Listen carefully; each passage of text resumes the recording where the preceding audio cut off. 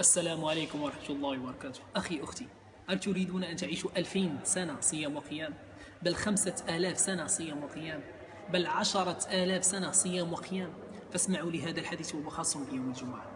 قال رسول الله صلى الله عليه وسلم من غسل يوم الجمعة واغتسل ثم بكر وابتكر ومشى ولم يركب ودنا من الإمام فاستمع ولم يلغو كان له بكل خطوة عمل سنة أجر صيامها وقيامها.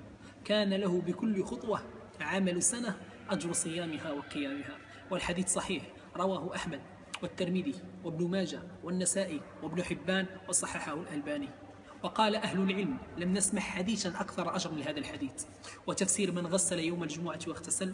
قال الشيخ العثيمين رحمة الله عليه من غسل يوم الجمعة واغتسل أي غسل نظف جسمه ثم اغتسل كالغسل الأكبر من الجنابة وقال الشيخ الألباني في تفسير من غسل يوم الجمعة واغتسل رحمة الله عليه أي غسل كالغسل الأكبر يوم الجمعة ثم أمر زوجته حتى هي بالغسل الأكبر حتى هي يوم الجمعة.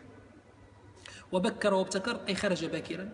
ومشى ولم يركب ودنا أي قرب من الإمام فاستمع ولم يلغو كان له بكل خطوة عمل سنة أجر صيامها وقيامها. فتخيل يا عبد الله لو طبقت هذا الحديث وذهبت ألفين خطوة أم خمسة آلاف خطوة فخمسة آلاف سنة صيام وقيام ستكتب في ميزان حسناتك يوم القيامة. وتخيل لو رجعت كذلك مشيا خمسة آلاف أخرى بل أصبح العدد عشرة آلاف سنة صيام وقيام. وتخيل يا عبد الله الأكثر في ذلك لو نشرته بين الناس. نشرته عبر الواتساب أم عبر اليوتيوب. أم بين الناس فكم لك من الأجر؟ فقد قال رسول الله صلى الله عليه وسلم خيركم من تعلم شيئا وعلمه. وقال رسول الله صلى الله عليه وسلم الدال على الخير كفاعله. وقال رسول الله صلى الله عليه وسلم إذا مات ابن آدم انقطع عمله إلا من ثلاث ومن بينهم علم ينتفع به. فانشروا هذا الحديث يا أيها الإخوة الكرام. كل يوم الجمعة يكون لك أجر كل من طبقه وكل من عمل به. فتخيل لو عمله أناس آخرون وأنت تتزود وأنت لا تدري. وتخيل لو كنت في قبرك وانقطعت عن الدنيا وملذاتها.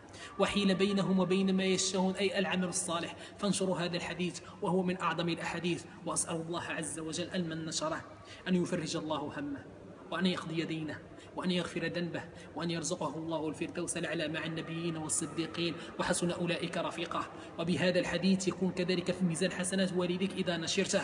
فالولد من حسنة أبيه. فتزودوا يا أيها الإخوة الكرام وخير الزاد التقوى. ولا تفرطوا في هذا الحديث. واعملوا به. وأسأل الله لنا ولكم العفو والعافية. والسلام عليكم ورحمة الله وبركاته.